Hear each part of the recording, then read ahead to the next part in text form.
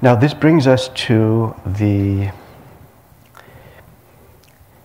golden rule, third golden rule for today, and that is this My conscientious self, be firm in faith through life's tests and trials. Be firm in faith through life's tests and trials. So, on a certain level, this is a call to sabr, patience. Whatever is going on is for a time. Keep going. Don't, don't succumb. Don't succumb to, to fear or hopelessness or despair. Keep going. Be patient.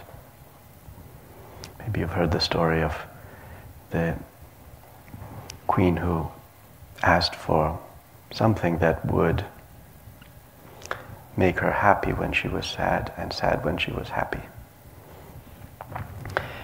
And um, the philosophers reflected on that. What could it be? And finally, they presented a ring, and on that ring was engraved, This too shall pass. So that's a, an important reminder amidst tests and trials because when we are tried, when there is a test, it seems limitless. It seems that this is now the final word. Something has happened, and um, this is the perpetual reality. In fact, reality is constantly changing.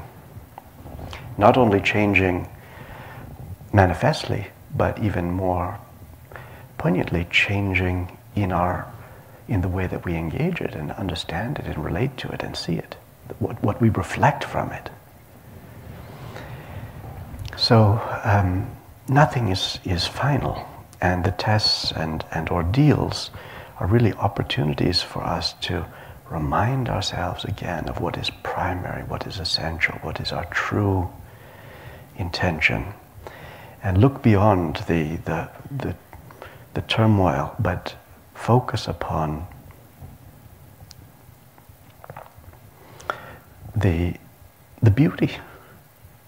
And it might be, uh, it might be a beauty that is um, hidden. So if one has become, if one has become uh,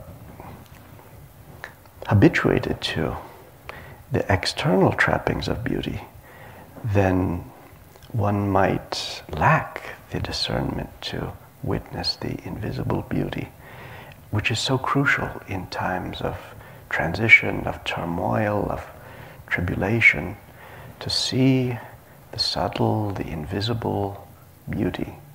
That's what gives patience. That's what gives calm. And that's what gives faith. Faith is, is seeing the invisible. That's the definition of faith is not only to see what's on the surface, see what's in the depths. It's like seeing all of the mustard plant in that little speck of a seed. That's faith. That's the meaning of faith. So be firm in faith means see the invisible, see the beauty that is here, that is to come, even in hard times, even when outwardly beauty is hard to put your finger on firm in faith.